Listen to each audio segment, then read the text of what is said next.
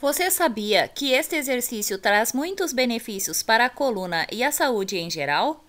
Ele é ideal para praticar no final do dia e tirar todo o cansaço das costas e recuperar a sua energia do corpo e da mente. Antes de começar a praticar, eu quero te mostrar os vários benefícios que este exercício promove. Ele é praticado no mundo inteiro, principalmente nas aulas de yoga, e consiste no movimento sincronizado com a respiração. Para ter todos estes benefícios, é praticado de 10 a 20 vezes de forma consciente e bem devagar.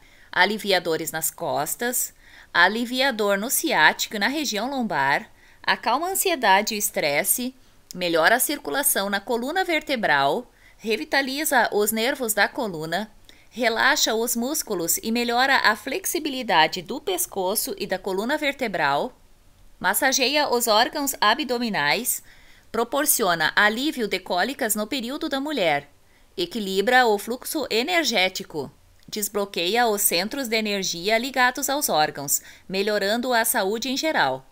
Através da respiração profunda, melhora a elasticidade dos pulmões, melhora a oxigenação do corpo e acalma a mente.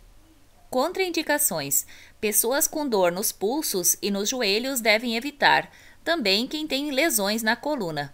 Procure sempre a orientação de um profissional da saúde se você pode praticar ou não. Vamos ao exercício. Olhe para frente inspire. Leve a coluna para cima e solte o ar. Quando abaixa as costas, inspira.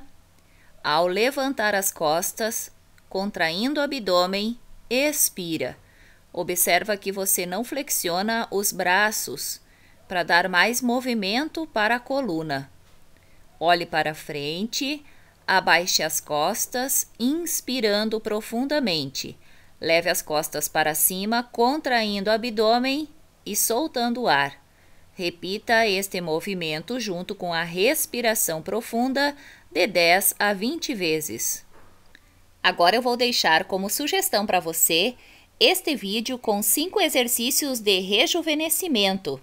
São exercícios também baseados na yoga e são conhecidos como os ritos tibetanos. Você pode praticar em casa. Eu tenho certeza que você vai adorar. Viva bem, viva com saúde!